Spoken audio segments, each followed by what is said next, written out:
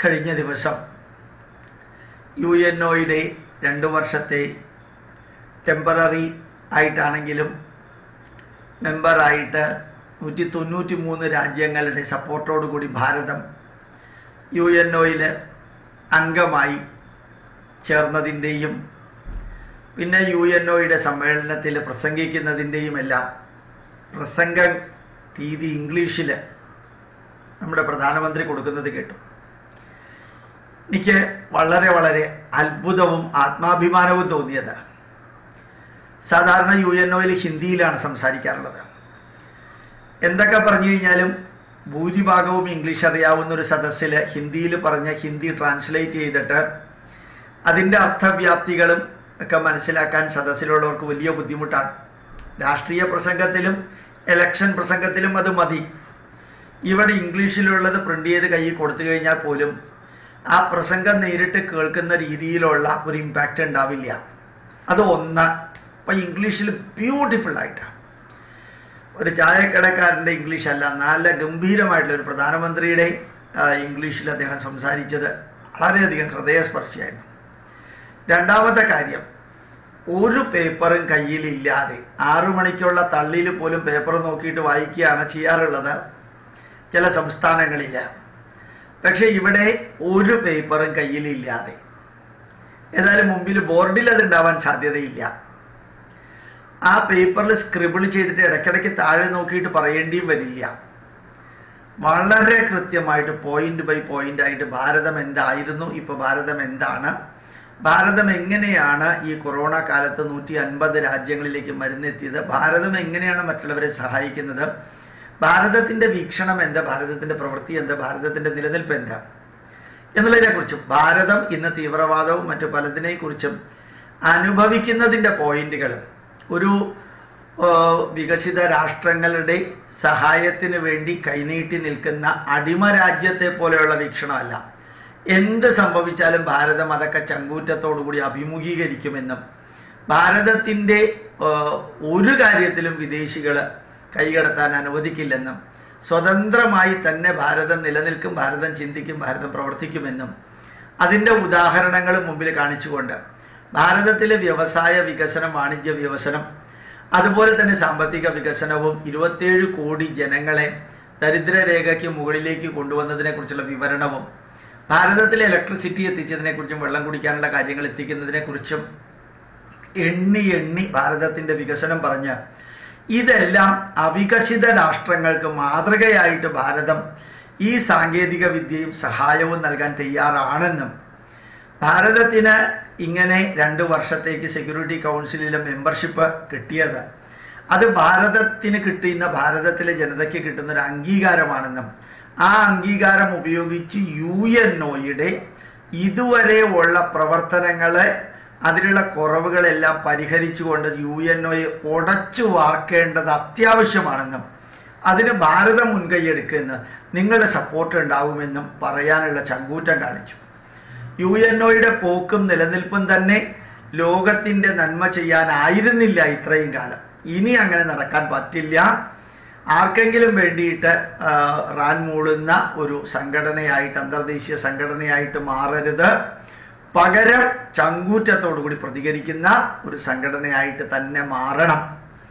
അതിന് ഭാരതം മുൻകൈയെടുക്കുമെന്നും മാറ്റം വരുത്തുമെന്നും മാറ്റം വരുത്താൻ സാധിക്കുമെന്നും മറ്റ് ജനങ്ങളുടെ മറ്റ് ലോകരാഷ്ട്രങ്ങളുടെ സപ്പോർട്ട് അതിനുണ്ട് എന്നും അസന്നിഗ്ധമായിട്ട് ഒരു പത്ത് ഇരുപത് മുപ്പത് മുപ്പത്തഞ്ച് വർഷം ഒരു രാജ്യത്തിന്റെ നേതാവായി കസേരയിലിരുന്ന ഭരിച്ച വ്യക്തിയുടെ സാധകത്തോടുകൂടി പാഠവത്തോടു കൂടിയാണ് യു എൻ ഒയിൽ കഴിഞ്ഞ ദിവസം അദ്ദേഹം വീഡിയോ കോൺഫറൻസിലൂടെയോ ആണെന്ന് തോന്നുന്നു ആ ഗംഭീരമായിട്ടുള്ള പ്രഭാഷണം നടത്തിയത്. ആത്മവിശ്വാസത്തിന്റെയും ആത്മനിർഭരതയുടെയും നിർവചനം എന്താണെന്ന് ചോദിക്കുകയാണെങ്കിൽ ആ പ്രസംഗത്തിൽ അതൊക്കെ ഉണ്ടായിരുന്നു.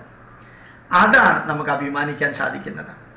ശരിക്ക് ഒരു ഒരു ഭരണാധികാരി എങ്ങനെ ഉണ്ടാവാൻ പാടില്ല എന്ന് നോക്കണമെങ്കിൽ കേരളത്തിലേക്ക് നോക്കാം. എങ്ങനെ ഉണ്ടാവണം എന്ന് നോക്കുകയാണെങ്കിൽ ഭാരതത്തിലേക്ക് നോക്കാം. എന്നുള്ളതാണ് വിവേകാനന്ദൻ പറഞ്ഞിരിക്കുന്നത്. നിങ്ങൾക്ക് നിങ്ങൾ ചരിത്രം പഠിക്കുന്നത്. റഷ്യയിലെ പ്രഗത്ഭനായിട്ടുള്ള സോഷ്യോളജിസ്റ്റ് മലിനോവിസ്കി പറയുന്ന ഒരു വരിയുണ്ട്. ചരിത്രം നമ്മൾ പഠിക്കുന്നത്. മലിനോവിസ്കി സോഷ്യോളജിസ്റ്റ് അദ്ദേഹം പറയുന്ന ഒരു വരിയുണ്ട്. ചരിത്രം നമ്മൾ പഠിക്കുന്നത് പല രാജ്യങ്ങൾക്കും സംഭവിച്ച പരാജയങ്ങളും അബദ്ധങ്ങളും തെറ്റുകളും കുറ്റങ്ങളും നമുക്ക് സംഭവിക്കാതിരിക്കാനും പല രാജ്യങ്ങൾക്കും സംഭവിച്ചിരിക്കുന്ന നേട്ടങ്ങളും അതുപോലെ തന്നെ നന്മകളും അതുപോലെ തന്നെ വിജയങ്ങളും അത് നമുക്ക് സംഭവിക്കാനും വേണ്ടിയിട്ടാണ് നമ്മൾ ചരിത്രം പഠിക്കുന്നത്. ചരിത്രം പഠിച്ചിട്ട് നമ്മളൊരു ചരിത്ര പ്രൊഫസറായിട്ട് നമ്മൾ ഉപജീവന മാർഗത്തിന് വേണ്ടിയിട്ട് ചെയ്യുന്നവരുണ്ട്. പക്ഷെ ചരിത്രത്തിന്റെ ഇമ്പാക്റ്റ് എന്ന് പറയുന്നത് ചരിത്രത്തിൽ സംഭവിച്ചിരിക്കുന്ന തെറ്റുകളും കുറ്റങ്ങളും നമുക്ക് സംഭവിക്കാതിരിക്കാനും ചരിത്രത്തിൽ സംഭവിച്ചിരിക്കുന്ന വിജയങ്ങളും അതുപോലെ നേട്ടങ്ങളും നമുക്ക് സംഭവിക്കാനും വേണ്ടിയിട്ടാണ്. യഥാർത്ഥത്തിൽ കേരളത്തിൽ നോക്കിക്കഴിഞ്ഞാൽ ഒരു ഭരണാധികാരി എങ്ങനെ ഉണ്ടാവാൻ പാടില്ല എന്നും ഭാരതത്തിലേക്ക് നോക്കിക്കഴിഞ്ഞാൽ ഒരു ഭരണാധികാരി എങ്ങനെ ഉണ്ടാവണമെന്ന് മനസ്സിലാക്കാൻ നമ്മളുടെ മുമ്പിൽ പ്രത്യക്ഷമായിട്ട് ഇപ്പം തന്നെ അതിന് വേണ്ടിയിട്ടുള്ള എല്ലാ കാര്യങ്ങളും ഉണ്ട്. അതിനൊരു വലിയ തെളിവാണ്. യഥാർത്ഥത്തിൽ ലഡാക്കിൽ ചെന്ന് ഇന്ത്യൻ പ്രധാനമന്ത്രി പറഞ്ഞതും പിന്നെ ഓരോ കാര്യത്തിൽ ചെയ്യുന്നതും നമ്മുടെ ഇൻഡസ്ട്രിയലിസ്റ്റ് കൊണ്ടുവരുന്നതും ഈ പത്രത്തിൽ ഇന്നത്തെ പത്രത്തിൽ നോക്കിയാൽ കാണാൻ സാധിക്കും ഇന്നലത്തെ പത്രത്തിൽ നോക്കിയാൽ കാണാൻ സാധിക്കും foreign direct investment foreign reserve സർവകാല റെക്കോർഡും ഭേദിച്ചുകൊണ്ട് സർവകാല റെക്കോർഡും ഭേദിച്ചുകൊണ്ട് അങ്ങ് ഏറ്റവും ഉന്നതിയിൽ നിൽക്കുന്ന ഒരു കാഴ്ച. അപ്പൊ അവിടെയും സാമ്പത്തികമായിട്ടും എല്ലാം ഭാരതം നിലനിൽക്കുന്നു. എല്ലാ ജനതയ്ക്കും അഞ്ച് കിലോ അരിയും ഒരു കിലോ കടലയും നവംബർ വരെ അല്ലെ സെപ്റ്റംബർ വരെയോ നവംബർ വരെയോ കൊടുക്കും ഫ്രീ ആയിട്ട് എന്ന് പറയാൻ ഒരു രാജ്യത്തിന് ചങ്കൂറ്റം ഉണ്ടായതും ഒരു ഭരണാധികാരിക്ക് തന്നെയാണ് അപ്പൊ അകത്തെ കാര്യവും പുറത്തെ കാര്യവും വ്യാവസായിക കാര്യവും സാമ്പത്തിക കാര്യവും യുദ്ധത്തിന്റെ കാര്യവും അതുപോലെ തന്നെ അകത്തെ ദേശദ്രോഹം നടക്കുന്നതിന്റെ കാര്യവും രാഷ്ട്രദ്രോഹം നടക്കുന്നതിന്റെ കാര്യവും മത തീവ്രവാദം നടക്കുന്നതിന്റെ കാര്യവും മാവോയിസ്റ്റുകൾ പിടച്ചു വളരുന്ന കാര്യവും ഒരുമിച്ച് നോക്കാൻ വേണ്ടപ്പെട്ടവരെ ഏൽപ്പിച്ച് അവർ അത് കറക്റ്റായിട്ട് ചെയ്യുന്നുണ്ടെങ്കിൽ അവരെ കറക്റ്റായിട്ട് ആ സ്ഥാനത്ത് ഇനിയും തുടരാനും അല്ലെങ്കിൽ അവരെ മാറ്റിയിട്ട് വീണ്ടും പുതിയ ആൾക്കാരെ ആ സ്ഥാനത്ത് കൊണ്ടുവരാനും. അത് ആണായാലും പെണ്ണായാലും കൃത്യമായിട്ട് കഴിവിന്റെ അടിസ്ഥാനത്തിലായിരിക്കും ഇവരെല്ലാം കസേരയിൽ ഇരിക്കുന്നതെന്ന് ബോധ്യപ്പെടുത്താനും എല്ലാം സാധിക്കുന്ന ഒരു ഭരണം ഭാരതത്തിന് കിട്ടിയത് പുണ്യമാണെന്ന് ഞാൻ പറയുമ്പോൾ തീർച്ചയായിട്ടും സംഖ്യ എന്നോ ആർ എസ് എസ് എന്നോ ഗോമൂത്ര സംഖ്യ എന്നോ ചാണക ആ, നമ്മുടെ പല പല ഓൺലൈൻ ചാനലുകളിൽ ചിലരെയൊക്കെ പന്നിക്കൂട്ടങ്ങൾ എന്ന് പറയാറുണ്ട്. ആ വാക്ക് ഞാൻ ഉപയോഗിക്കുന്നില്ല. അങ്ങനെയുള്ളവർ പറയുമ്പോഴും സന്തോഷമുണ്ട്. അവൻ അവതാരമാണെന്നാണ് വിചാരിക്കുന്നത് എന്ന് പറയുമ്പോഴത്തേക്കും സന്തോഷമുണ്ട്. തന്നെത്താനെയാണ് ഞാൻ വിചാരിക്കുന്നത് നമ്മൾ വിചാരിക്കുന്നത് നിങ്ങൾ വിചാരിക്കുന്നതെങ്കിലും.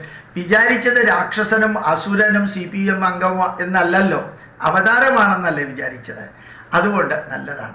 അപ്പോൾ ഒരു കാര്യം ഉറപ്പാ. നമ്മുടെ നാടിനെ ലോകത്തിന്റെ ജഗദ്ഗുരു സ്ഥാനത്തിൽ അത്യുന്നത ശൃംഗ ശൃംഗത്തിലേക്ക് കൊണ്ടുപോകാൻ ഈ കൊറോണ ഒരു സ്ഥലത്ത് മതതീവ്രവാദം ഒരു സ്ഥലത്ത് കള്ളക്കടത്തും ബാക്കിയുള്ളതും ഒരു സ്ഥലത്ത് ചൈനയും നേപ്പാളുമായിട്ടുള്ള പാകിസ്ഥാനുമായിട്ടുള്ള ഒരു അസ്വാരസ്യം വേറൊരു സ്ഥലത്ത് ഇതെല്ലാം കൈകാര്യം ചെയ്യാൻ സാധിക്കുമ്പോഴും അചഞ്ചലമായിട്ട് നിൽക്കുന്ന ഒരു പ്രതിഭാസം. അദ്ദേഹത്തിന്റെ യു എൻ ഒയിലെ പ്രഭാഷണം കേൾക്കാൻ നല്ല രസമായിരുന്നു. നല്ല രസമായിരുന്നു. അതൊരു ഇലക്ഷൻ പ്രഭാഷണം മാതിരി ഒന്നും ആയിരുന്നില്ല. ഭാരതം എന്താണ്? ഭാരതം എന്തായിരുന്നു? ഭാരതം എന്തായിരിക്കും? എന്നുള്ളതിനെക്കുറിച്ച് തന്നെയായിരുന്നു പ്രഭാഷണം.